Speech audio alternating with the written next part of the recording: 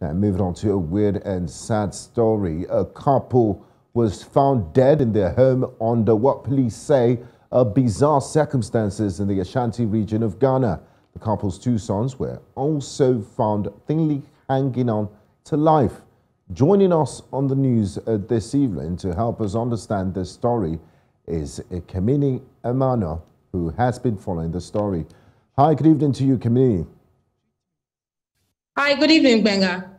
Now, um, information I have gathered on the story so far is that the police were called to do a welfare check on the Jacksons. They're a family of four uh, who lived in a two-bedroom multi-family apartment. Now, police sources say the neighbor and landlady who called on them were worried about the Jacksons because they had not seen them since May. So police broke into the apartment and found the decomposed body of a female, believed to be the wife, Ernestina Jackson, um, in one of the rooms. Uh, they also found a second body believed to to be the husband, Samuel Jackson, sitting on the family's toilet um, in, in the home. It is believed Ernestina may have died a, a little longer than Samuel, as they found her in a decomposed state.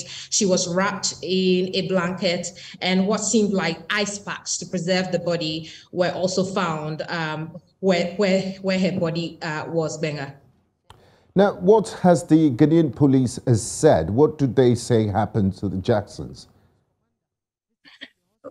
That is a mystery question the police are trying to answer at the moment. They're putting together the uh, pieces of the puzzle puzzle to answer that question. Um, but here's what sources are saying. Sources are saying that they do not suspect foul play at the moment. However, um, as part of investigations, they are waiting on the autopsy report on the couple. Now, Keminni, we also know that the couple had two children who were found alongside their parents. What has happened to them? That's right. They had two boys, 13 and 11 year olds. They were found in the same house as the decomposing bodies of their parents. Based on what I learned from the medical doctor attending to the children, they were brought in barely conscious. They were dehydrated. They were weak. And obviously, when they regained uh, consciousness, they were traumatized. He told me that they could not walk. And in his medical opinion, it could be as a result of starvation and not using their muscles mm. for a prolonged period of time. However, he also said that there's glimmer of hope for the children as they are responding to treatment, albeit slowly.